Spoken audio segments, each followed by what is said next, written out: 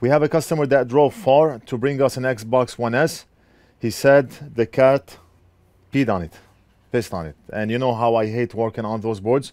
We once worked on a board that had a dog piss on it and I could not bear the smell. I stopped. I could not work on it. This one here, luckily, I do not smell anything as of yet, but we do not know what's going to happen when we start applying hot air on the board. The smell may magically appear in the air. We'll see. And right off the bat, we do see some damage on one of the RAM chips. The board has 16 RAM chips, DDR3, 512 megabytes each, a total of 8 gigs. So damage here. And I was able to locate damage elsewhere also. I forgot where. Okay, it looks like we have damage in this area here. Let's take a look under the microscope and see if we can save this board. Hopefully we're not going to smell anything. Customer said it's been a while since that happened. So maybe the pee evaporated. Who knows? Who knows? I'm not a pee expert. Okay, this does not look like pee to me. Maybe the cat sneezed on it. Okay, so far so good.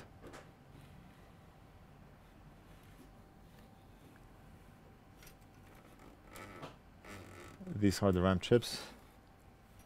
More of that stuff here. I do not know what that is.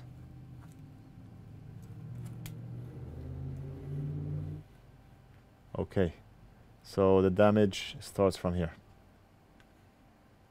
And look at that RAM chip. Bombarded. It's dried, sun-dried piss. Let's continue with the inspection. We have uh, some corrosion here.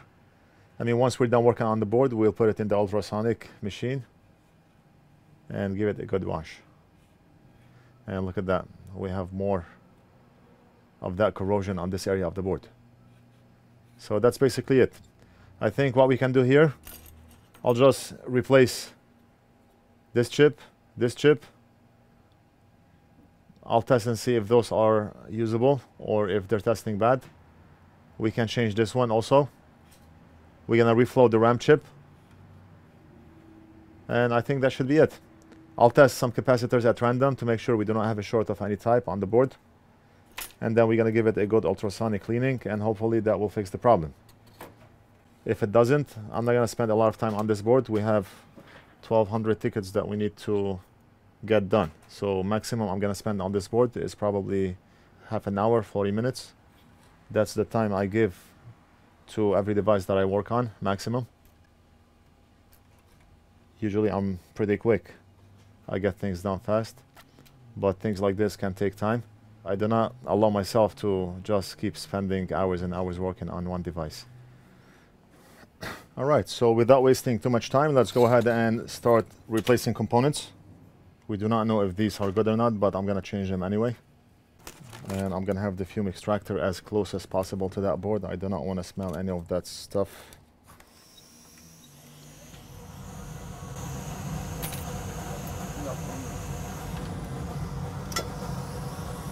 Okay, so let's start with this one here.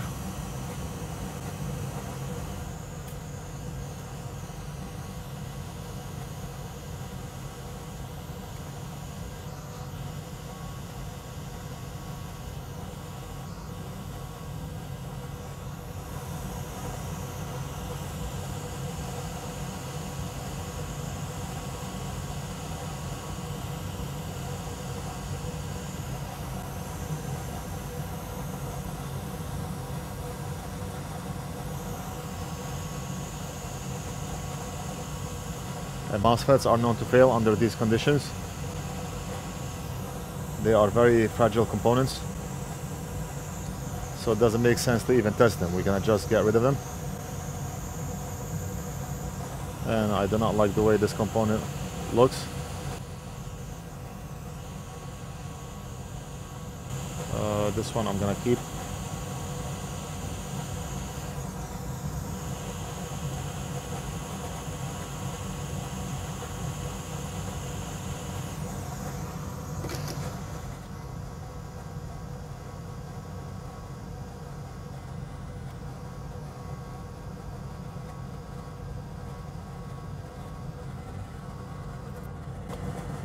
We're gonna use our fine steel brush just to brush off any corrosion on that board.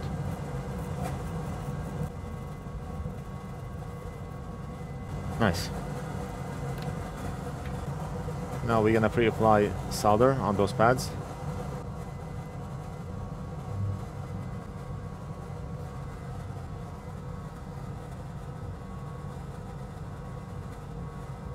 Those three are on the same pad.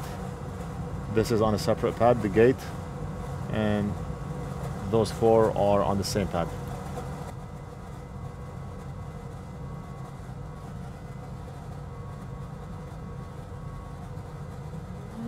That should be good.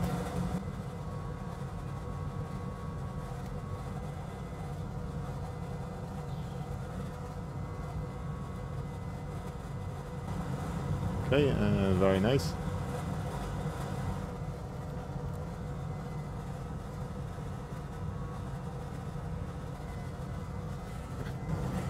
Okay, so we're gonna grab our donor Xbox and we're gonna remove the chips from here.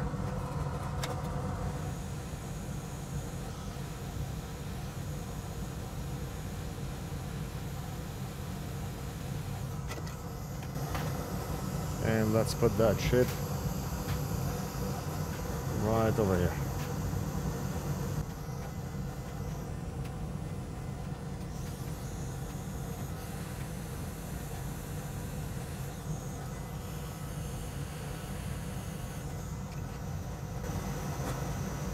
Okay, so this is done.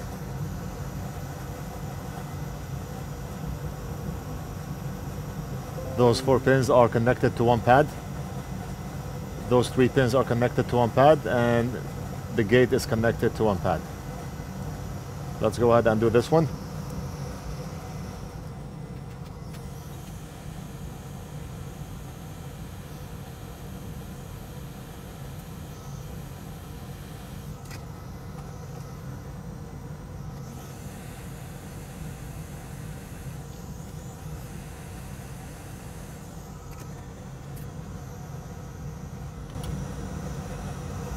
Very nice. And finally, or not finally, we still have two more components after this one. The resistors or filters. But let's solder the last chip.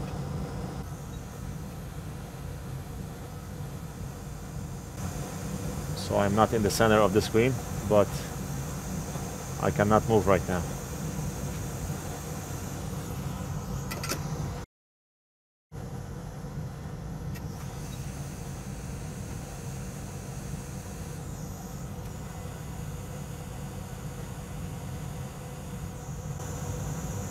Very nice. Just press down while the chip is aligned. And we have a perfectly soldered IC. We can touch up on it if we want, but we do not have to.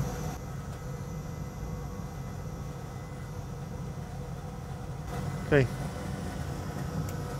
Two more components to solder.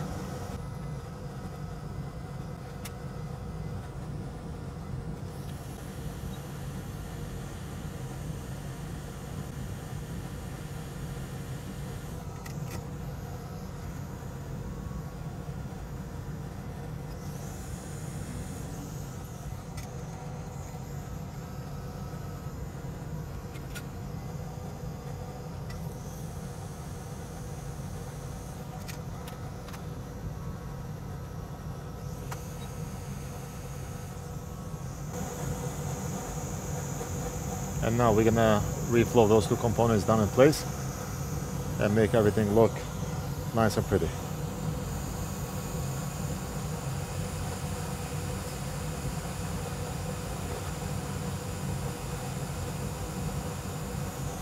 That's it. So this area of the board is done. Let's clean up before we move on to fixing the RAM chip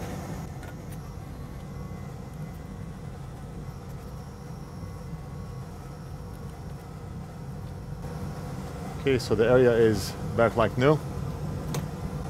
Now, for the fun part, let's take a look at this area. Maybe we can clean up some of that sun-dried cat pee. Nice and crunchy.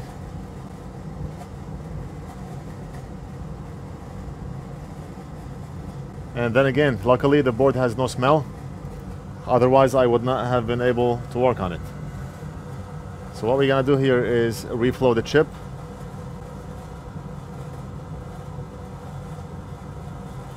We're gonna reflow the chip.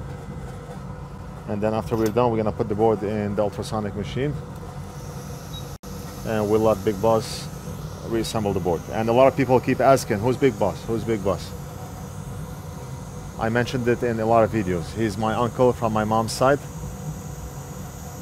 And he's been working with me for approximately, I think, eight, nine years. Big Boss is not my dad. Big Boss is my uncle from my mom's side. My dad is another person.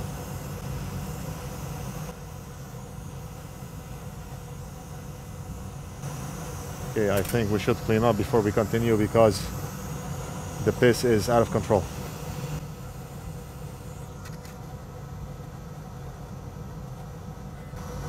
Let's try again. Okay, I just smelled something. Roasty. like burnt peanuts. That's what I smell right now. Uh, it's not funny. Oh, the smell is getting worse.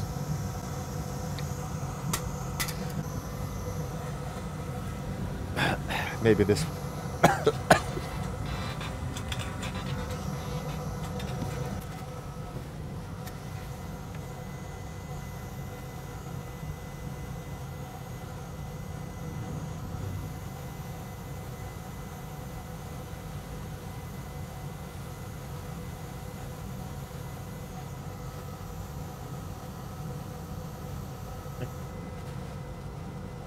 Okay, right after this repair, I'm gonna have to sanitize all my tweezers, the ones that we used for this job,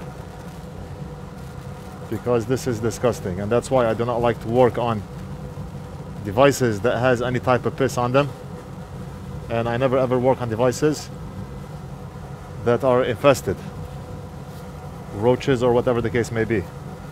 I experienced that once and never again.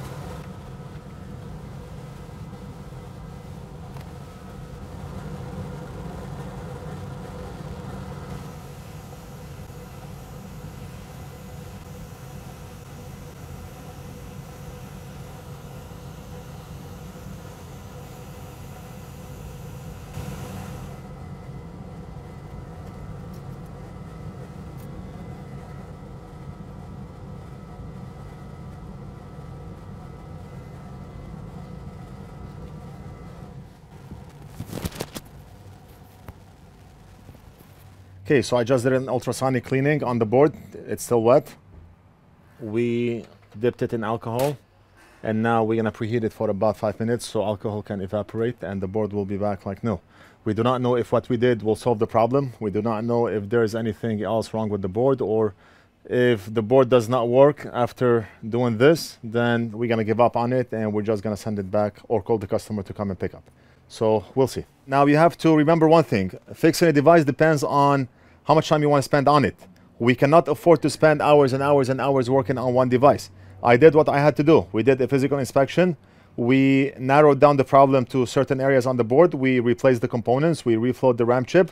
And uh, I tested a lot of capacitors on the board just to ensure that we do not have a short anywhere on the board.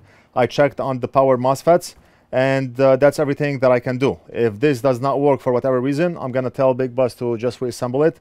We're gonna call it quits and call the customer to come and pick up. We have a lot of viewers that ask, for example, let's say we are working on a laptop and it turns out that the CPU is what's wrong with the laptop or the GPU is what's wrong with the laptop.